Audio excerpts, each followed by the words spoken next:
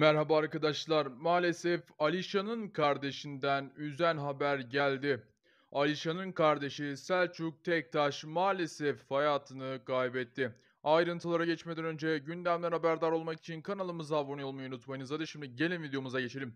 Maalesef bayramın ikinci günü Alişan'ın kardeşinden üzen haber geldi. Şarkıcı Alişan'ın koronavirüsten dolayı bir aydır yoğun bakımda tedavi gören kardeşi Selçuk Tektaş maalesef üzen haberi geldi ve acı haberi Mehmet Ali Erbil sosyal medya hesabından duyurdu.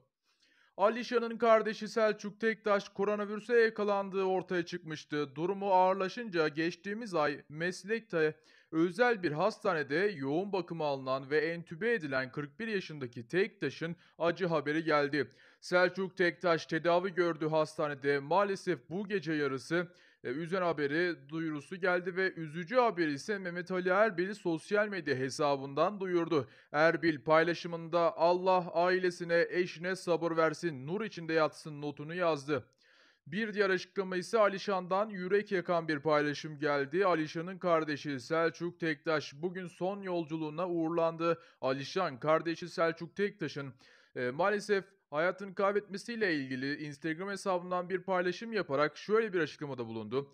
E, Alişan'ın cenazesinin ayrıntıları Instagram sayfasında şöyle paylaşıldı. Canımın yarısı kardeşimi, her şeyimi hakka uğurladık. Bugün öğle namazına mütakip e, Teşvikiye Camii'nden kaldırılacaktır açıklamasında bulundu Alişan. Maalesef çok inanmıştık, dönecektik geri dedi Alişan. Yakın dostu Demet Akıl'ın Instagram'dan yaptığı paylaşımda çok inanmıştık, dönecektin geri. Rabbim ailesine sabır versin, e, gitti koca yürekli çocuk ifadelerini kullandı. Kanalımıza abone olmayı ve videomuzu beğenmeyi unutmayınız. Görüşmek üzere.